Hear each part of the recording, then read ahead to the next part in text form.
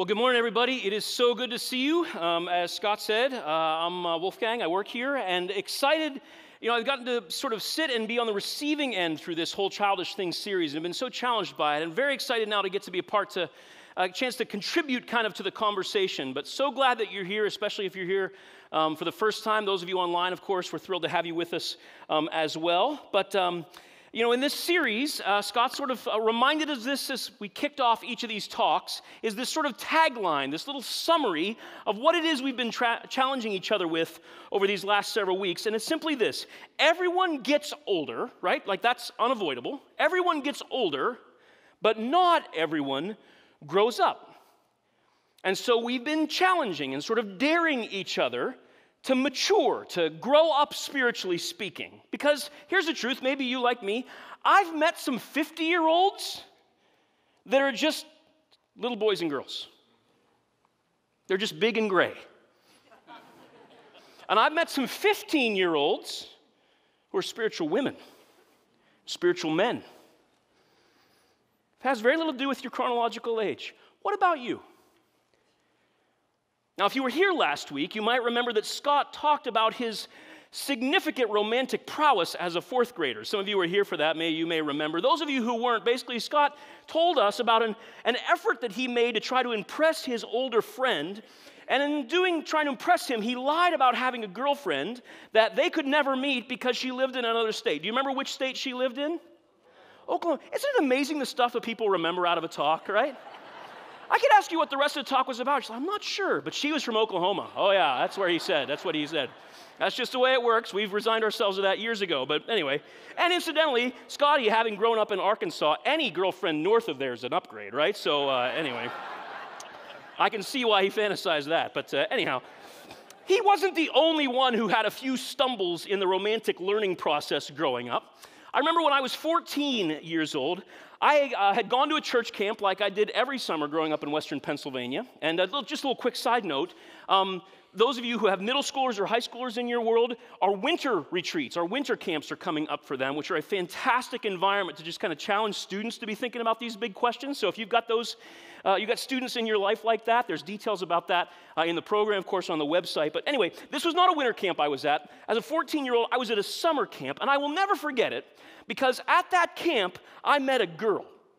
Now, I had met girls before, but this girl was unlike any I had ever met previously. And within eight hours of meeting that girl, I was convinced I'm going to marry that girl. Did you have like those teenage crush things happen in your life? I'm going to marry her. In fact, that night when we were in the cabin talking about girls in camp, which of course is what guys do at church camp at night in the cabins, right? I even told my friend Gary that first night, laying there in our bunks, I said, uh, You know, I'm going to marry that girl. Now, she hadn't noticed me, of course, which is the story of my romantic life, but over the course of that week, I made it a goal to try to get to know her. I eventually sort of worked my way closer. I got her phone number. The week after camp, I finally mustered up the courage to call her, and in one of our very first phone conversations, I told her in my still changing mid puberty voice, I said, If I was old enough, I would marry you right now, I said. Now, single guys, I do not recommend this approach, okay? Telling someone you're going to marry them in your first few conversations, more alarming than attractive, okay? It's a great path toward getting a restraining order slapped on you, all right? That's but as a 14 year old, I was a raging cocktail of hormones and impulsiveness and overconfidence. And did I mention hormones? I was convinced that she was the one, and I was ready to commit. Now, a little side note for those of you who are wondering kind of how the story worked out I didn't marry that girl at 14. We waited seven years, and then we got married. Um, and now, almost 23 years later, I'm pretty happy about that, right? That's a pretty good thing. Now, I'm not, yeah, thanks, appreciate that. I'm not sure if she'd clap for that, but she'd at least, uh, she's at least held on through the process. And incidentally, my friend Gary, that was in the cabin with me, that he spoke at our wedding and told that story, uh, which was sort of fun. Now, could I have known as a 14 year old what all was involved in a commitment like that? Of course not, right? Did I have any idea then, seven years later, when we slipped those rings on, any idea of the scope of the commitment that we were making? Absolutely not, right? Because that's kind of what happens with big commitments. But again, let me say, this is not the template on how to make thoughtful, significant commitments in your life. A few hours might be enough to make plans for the weekend, but it's typically not enough to make decisions about who you're going to marry, where you want to do with your life, what the eternal trajectory, trajectory of your, your future may be, any of those sorts of things. Because I had a lot of growing up to do when it came to impulsiveness, when it came to boundaries and things like that. But even though I didn't understand all that that commitment might mean, I was more than ready to jump in. And we all know that is not normal, not in our society. Now, there are some people who are too quick to make commitments.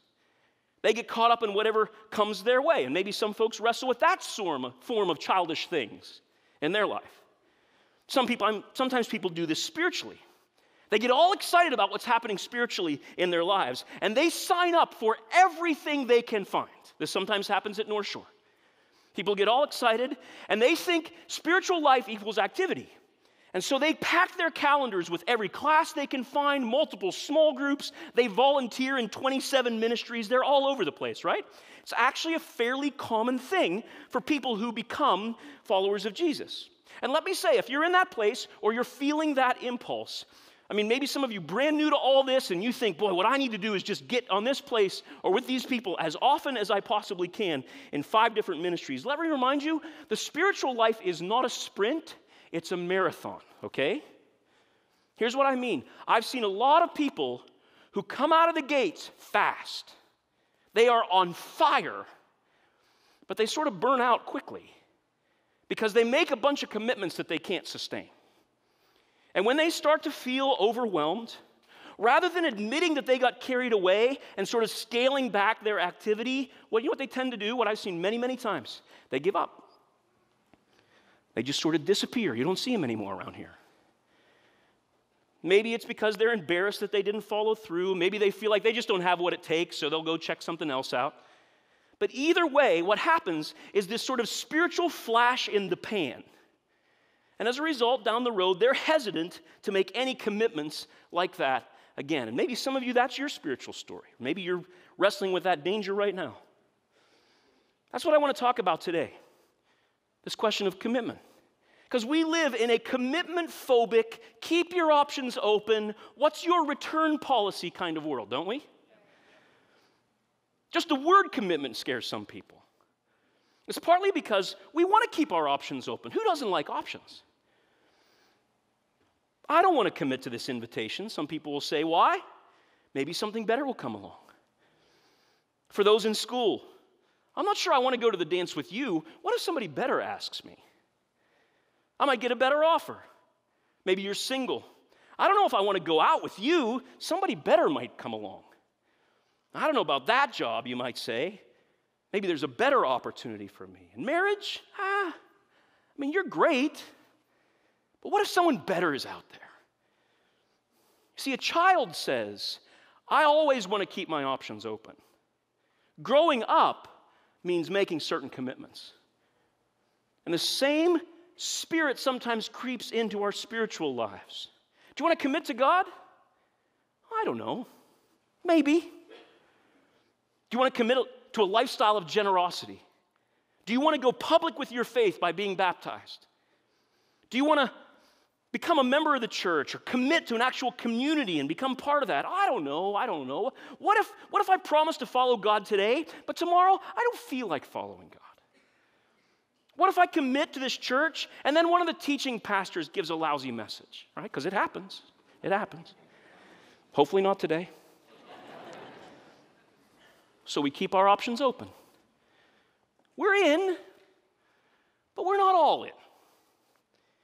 And when things get challenging in the marriage, or when we're not happy with our job, or we don't feel that same thrill that we once felt, spiritually speaking, we look for the exits.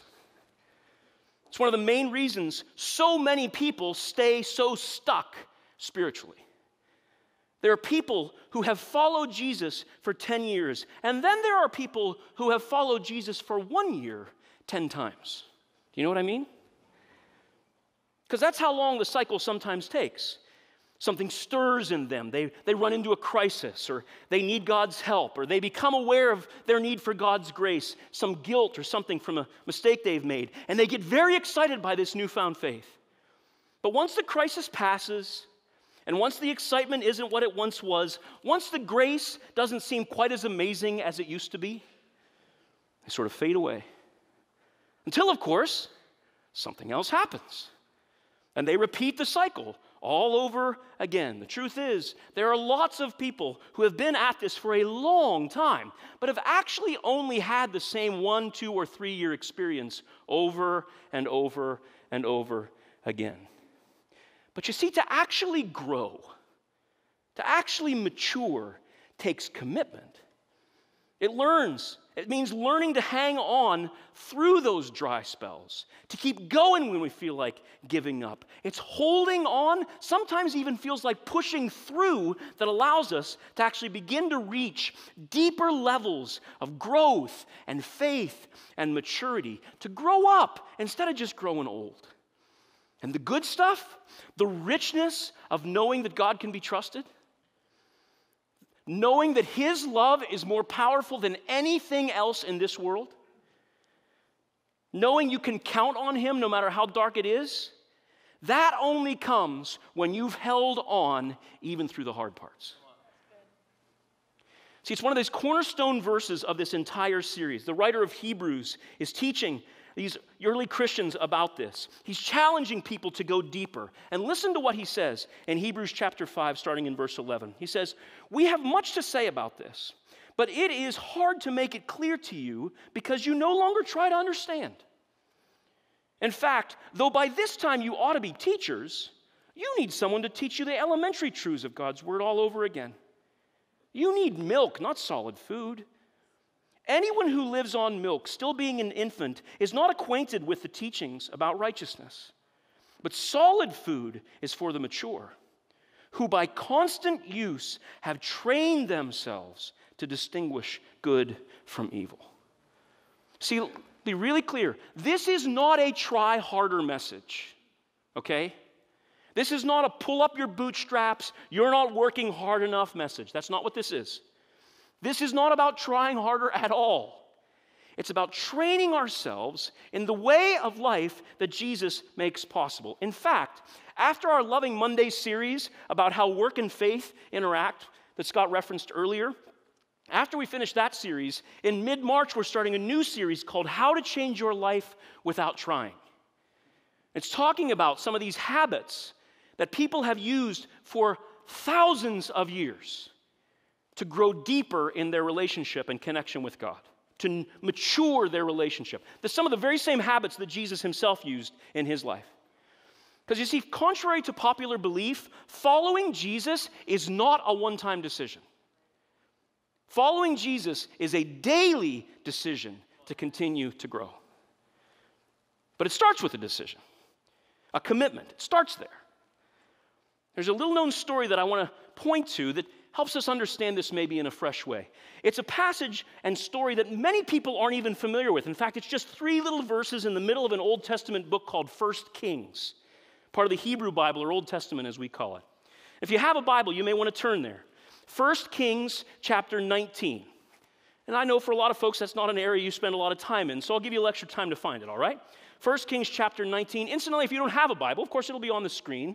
You can always download a great Bible app to your phone, but we have copies, physical copies of the scriptures as well. That after the service, if you want to come over and ask for one, I'll give you one. I'd love to even show you how to start reading in a bit. But anyway, 1 Kings 19. And I heard a message on this little story that for a long time I just overlooked. I heard a message on this from, of all people, John Ortberg, who is going to be our guest speaker next week. And just a quick side note don't come next week. Come with someone next week, all right? Bring someone with you. I'll tell you why. And I'm no exaggeration, I think he is my favorite Christian teacher alive right now. I'll just tell you. Over 20 years ago, I heard him speak for the first time. And uh, he was at a church in Chicago, and I have followed his teaching and ministry ever since. Now, for years, I subscribed to his messages, all right, which in those ancient days, before podcasts and YouTube videos and indoor plumbing. Uh, every week, every week, I would get a little package in the mail that contained a purple audio cassette. Audio cassettes are these little recording devices you can find in museums sometimes. Every week, one of my highlights was taking that tape, sticking it in the tape player, and listening to his talk. I still have some of those old tapes. Now, I don't have anything I can play them on, but I still have some of those tapes. I just can't part with them. Anyway, I heard John talk about this passage uh, some time ago, and what he had to say, the insights were so helpful that they've bled into this talk as well, of course. Now, the story is in 1 Kings chapter 19, verses 19 through 21, three little verses. The story is one of a prophet named Elijah who is nearing the end of his ministry, and he's looking for his replacement. So here's what it says 1 Kings chapter 19, starting in verse 19. So Elijah went from there and found Elisha, son of Shaphat. He was plowing with 12 yoke of oxen, and he himself was driving the 12th pair. Elijah went up to him and threw his cloak around him.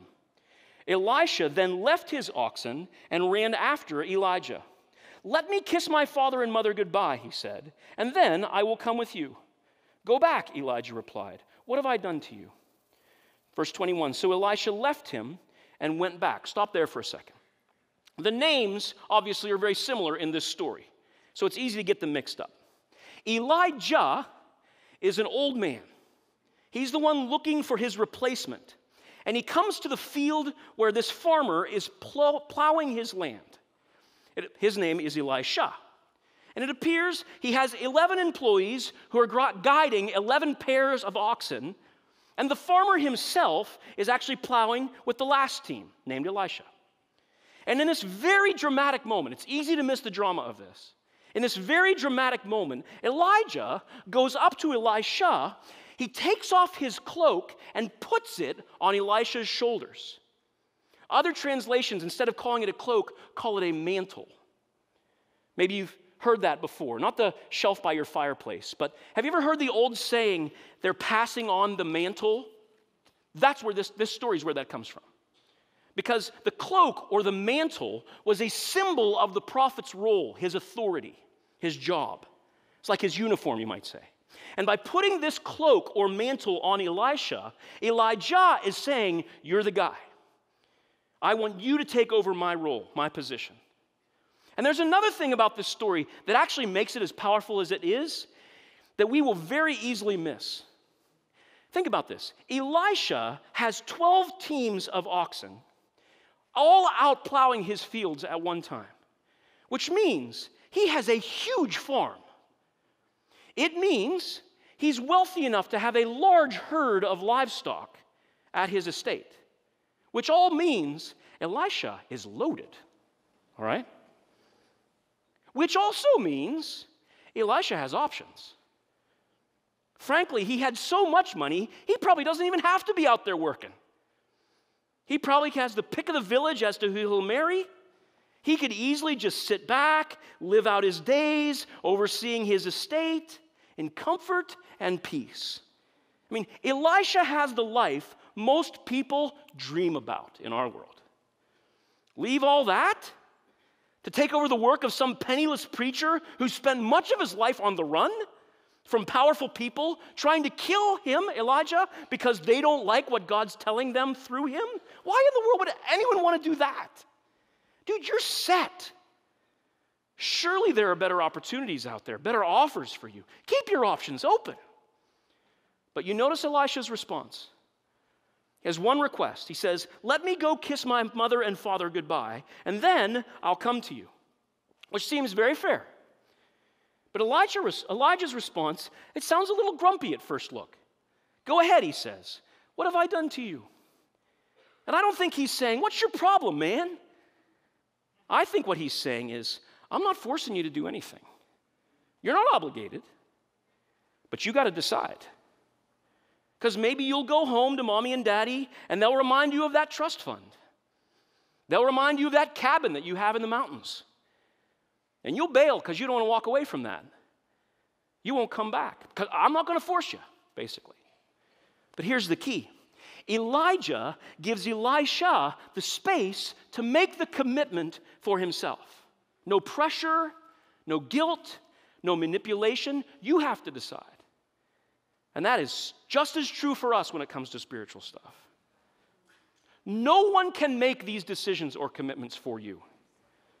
Not your spouse, not your kids, not your friend, not your parents, not your pastor. Only you. And that's why here at Northshore, you will not get these super guilt heavy talks, these super emotional, high pressure, get everybody all lathered up, tug on your heartstring moments where people try to manipulate you into making decisions that ultimately won't last. We simply put it out there. There is a God who knows and loves you and wants to give you a fresh start no matter what you've done or where you've been. New beginning. And He wants to help you learn to live the kind of life that Jesus lived this faith filled, joy drenched, peace saturated life, just like Jesus. But to experience it, you have to decide for yourself. These kinds of commitments are only made for oneself. And that's exactly what Elisha does. Elisha decides to say yes to God. He comes back to Elijah and he says, I'm ready to go, but there's just one more thing I have to do. This is fantastic. Look at this. Second half of verse 21 in 1 Kings 19. He says, He, Elisha, took his yoke of oxen and slaughtered them. He burned the plowing equipment to cook the meat and gave it to the people. They ate. Then he set out to follow Elijah and became his servant. He burns the plow. You see what's happening here?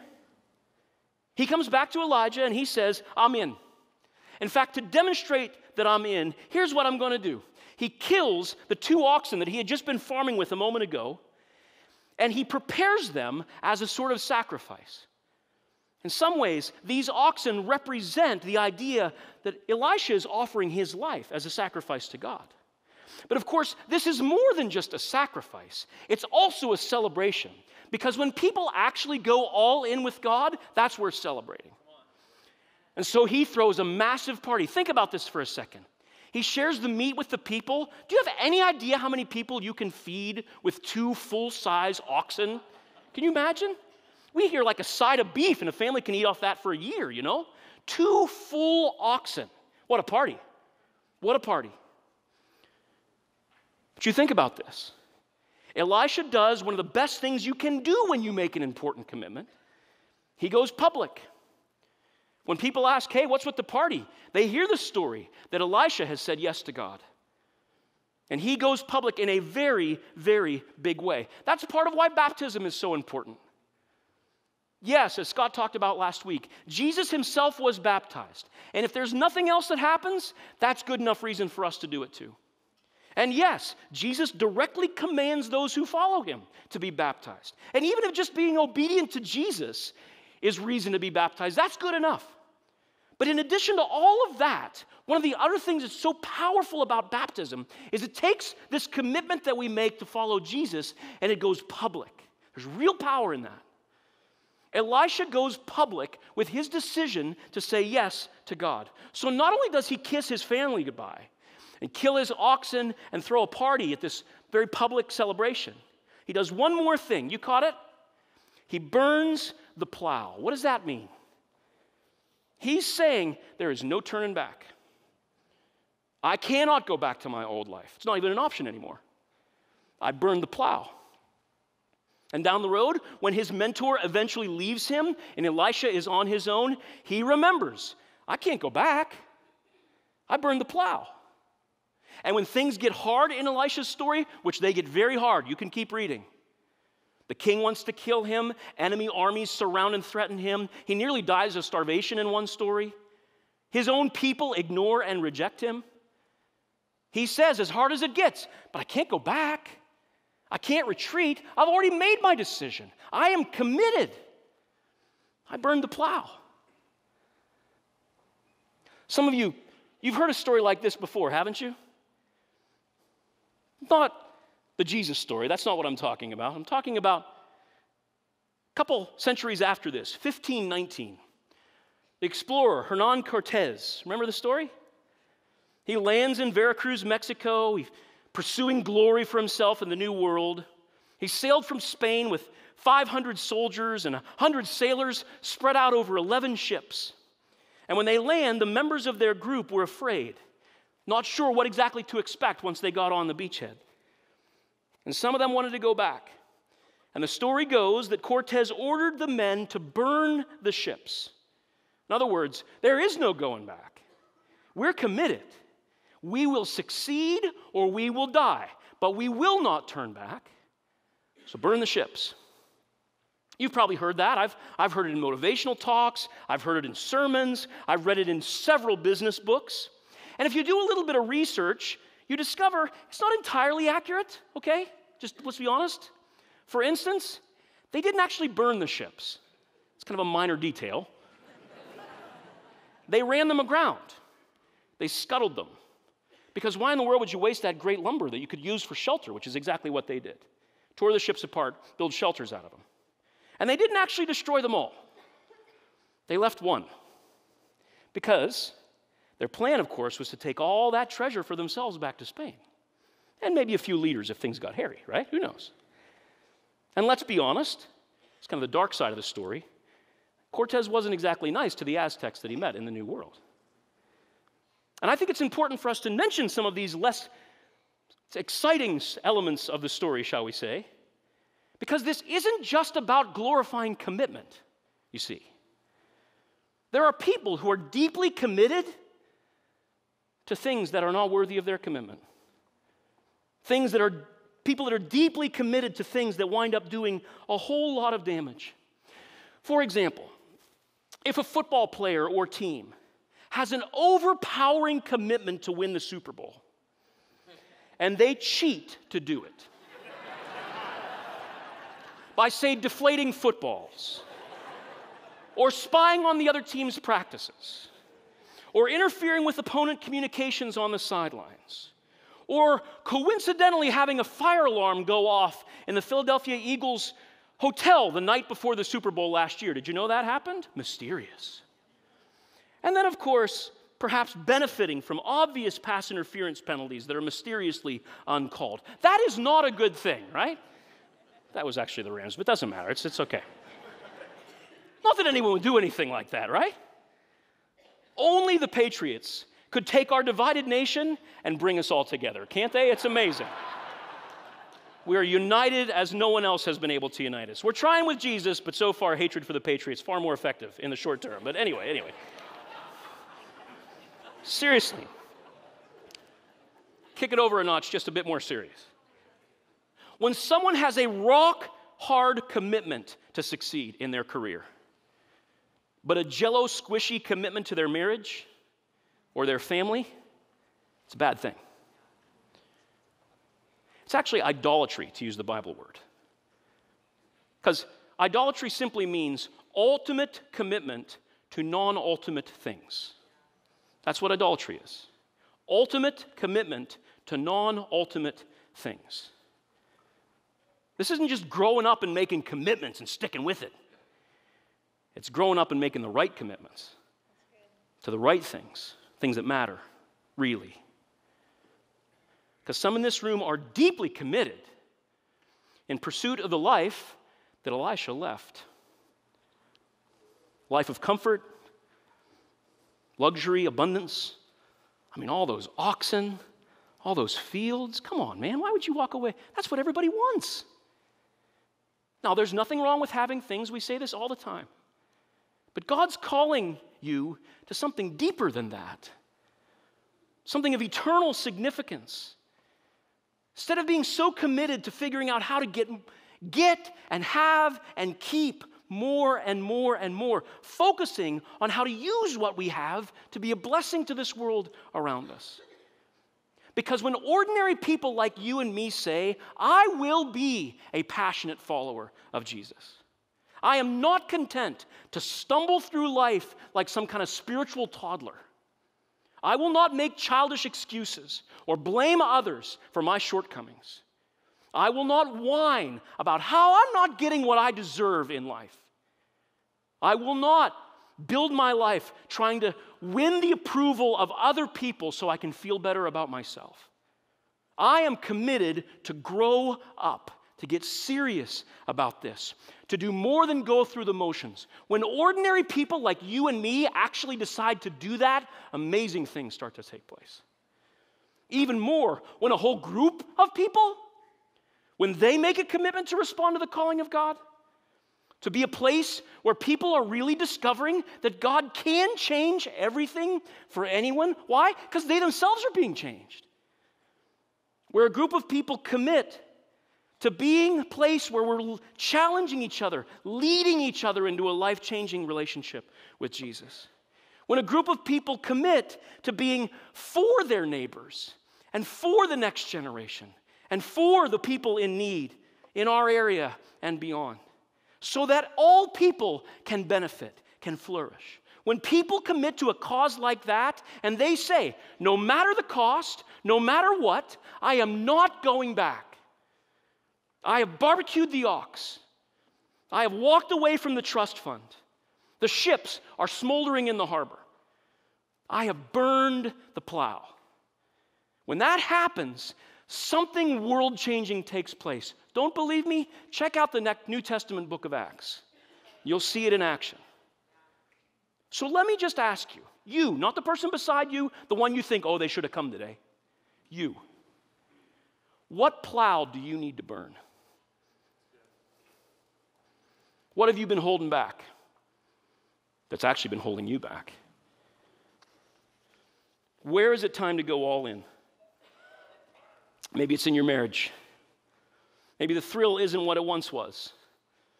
And you find yourself tempted to escape or give up or see what else might be out there.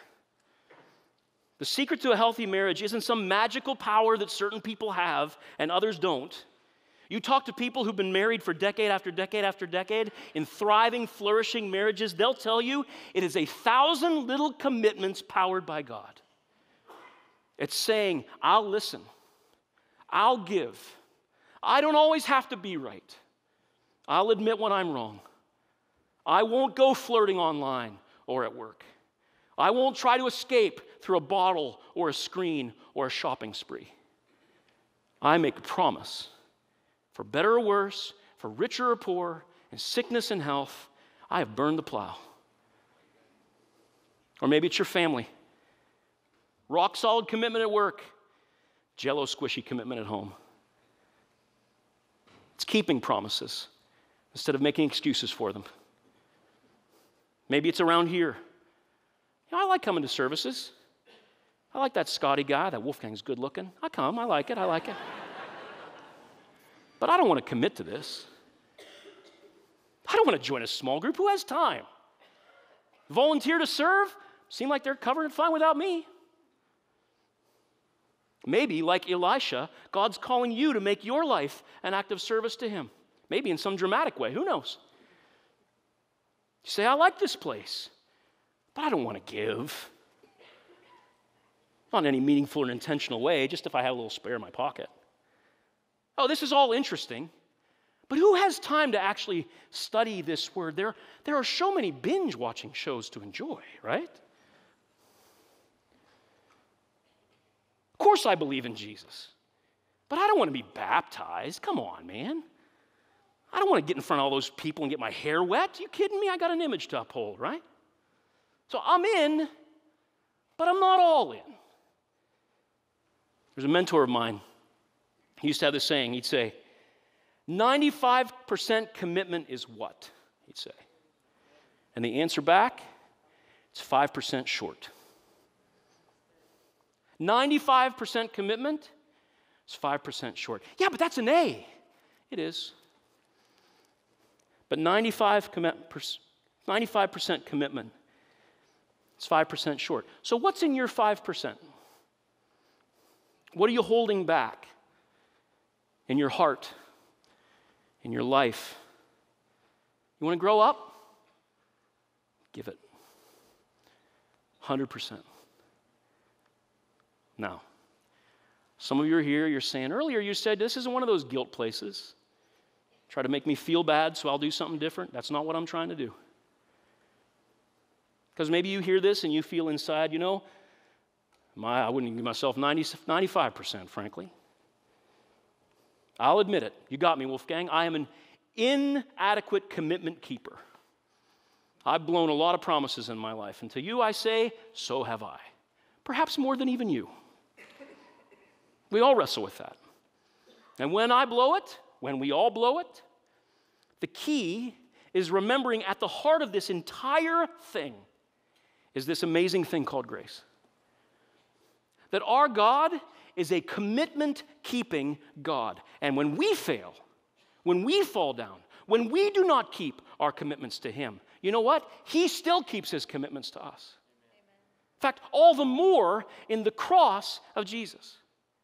You see, the big commitment, the ultimate commitment a human being can make, the one that is worth your life and death, full 100% in, is the commitment to love and follow this Jesus who is infinitely committed to you. And if you're here this weekend or you're watching online and you're not a follower of Jesus, you're just exploring what all this is about, we're thrilled you're here. We want you to feel welcome. But I hope you'll consider this. I hope you'll think about the role of commitment and commitment to Jesus above all in human life.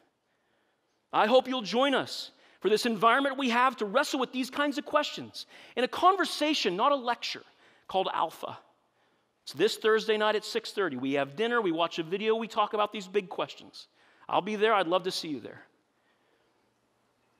Now, some of you made that decision last week.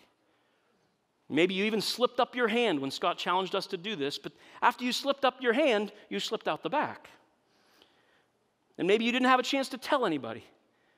I'd love to talk with and pray with you after this service. I'm going to be hanging out right over here in the corner. I'd love to see you. Maybe you made that commitment long time ago, but you never gone public by being baptized. There's been excuses, there have been reasons. It's time.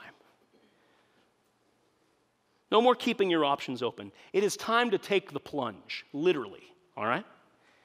I'd love to talk to you about that. You can find out more about it on our website. If you're part of our church, though, if you're a follower of Jesus, I hope, I pray, I hope so deeply that we will be the kind of church that our mouths water when it comes to being challenged, to total outrageous commitment to Jesus to be a community of people who don't just come to hear God loves you just the way they are, but then walk out of this place, rarely think about God and live however we want until we come back the following week to be told again God loves you no matter what. Can I tell you? He loves you no matter what. But I hope it would be the kind of place where we love to be called to ever deepening, outrageous commitment to Jesus. Not because we're better than anybody else or more disciplined than anybody else, just for one reason. Because when Jesus came, he gave 100%. Jesus did not give 95. He gave all he had, all he was. I heard somebody say this one time Jesus himself is so humble that if there is a better way than this that came along, Jesus would be the first one to say, Take it right? But there is not a better one coming, friends. Life as a follower of Jesus is what human life was meant to be. So let me ask you what's holding you back from that? What plow do you need to burn? Because when Jesus came, he didn't hedge his bets, he didn't jettison out of here when things got tough. He remained committed to his calling, to his mission. He went all in with no guarantee we'd respond, with no escape clause or return policy. He willingly laid himself down as a sacrifice that we needed so we could have new life. And instead of offering an ox on a wooden plow, instead he offered himself on a wooden cross. That's what he did for us. And that's what we remember when we take what we call communion or the Lord's Supper. We remember how Jesus committed himself to bringing new life to people like you and me. So that every broken commitment, every time we fall short, every one of us could have another chance, a new life. His commitment made that possible. And it wasn't a 95% commitment, it was all in. So, would you bow your head with me as we get ready to eat this meal together?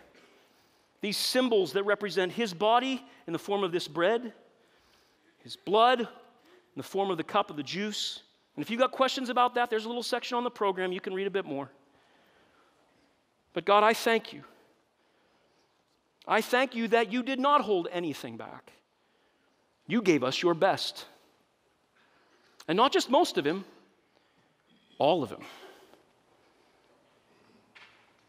I thank you for your commitment to us, Father. And there are some in this room, today is the day they need to make a decision. Today. It's commitment time. It is time to go all in. Maybe even some who others look at as spiritual giants secretly know there's some percentage they've been holding back. But no matter where we're at, to begin by just admitting our need for Him. Anything short of 100, Lord, we just admit it. We've been, we've been short. We need you. We believe that you are who you said you were. You are the promised one, the rescuer, the healer, the savior, the one that we need. And we confess, not only you just the savior, you're my savior. Because I'm in, Jesus. And I'm still going to stumble, I'm still going to fall, but I thank you for grace that helps me get back up to try again, to train again, to learn again, to grow again, to keep going. I want to follow you. And some of you, you need to express that decision by being baptized. It's time to go public. These secret little prayers, quite frankly, that's nowhere in the Bible. All we see is public expression of this decision. And if you've not done that, you need to. No more excuses. So, God, I stand before you and I admit that my percentage wanes, goes up and down. And sometimes I marvel at your patience and your grace. Sometimes nothing. I always marvel at your patience and your grace. And I thank you, Holy Spirit, for being the power that fuels this quest to live as you lived. Teach us, form us, mold us, make us a community of people who are all in, so that this world can see you are who you said you were and can discover the joy that many of us have found. So as we eat these symbols, we're reminded of that level of commitment you made to us the bread and juice. You can eat as it goes by, just go ahead and eat it when you're ready. We thank you. We thank you. Because it's time to put childish things behind us. It's time to grow up. It's time to burn the plow. In your name.